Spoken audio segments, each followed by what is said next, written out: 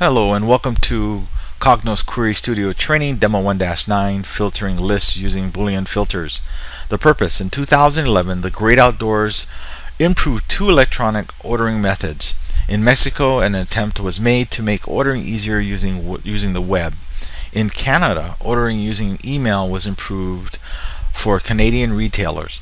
Marketing would like to see revenue generated by these two new methods in these two countries before and since implementing of the improvements.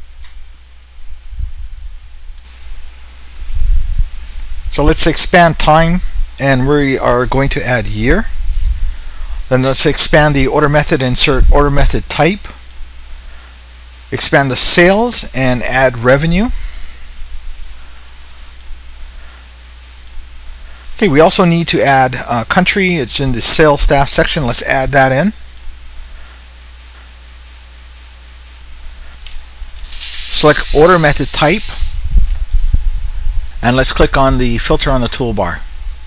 Once we do this, um, let's go down and check the email and web checkboxes.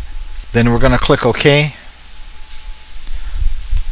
Select the country column and then let's go ahead and click on the filter again.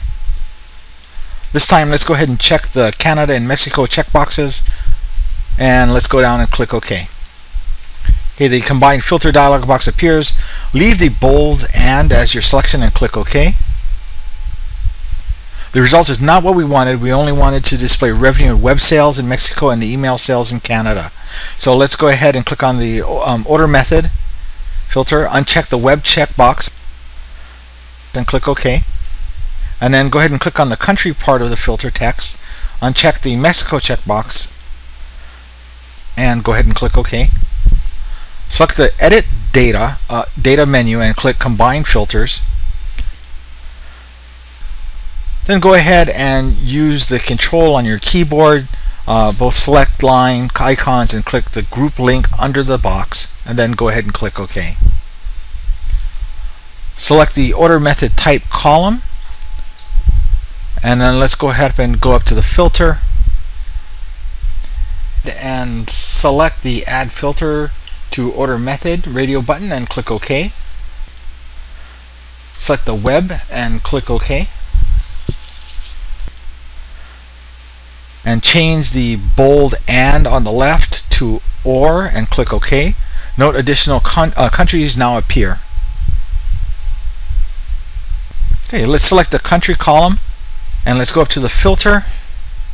Select add filters to the country radio button and click OK. Let's go ahead and select Mexico and click OK.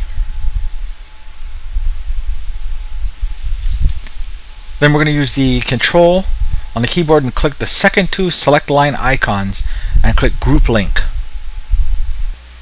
Okay, let's change the um, bold or between order method, web, country, Mexico to and and then click OK. Use the control, um, click on the country and order method column and click group on the toolbar.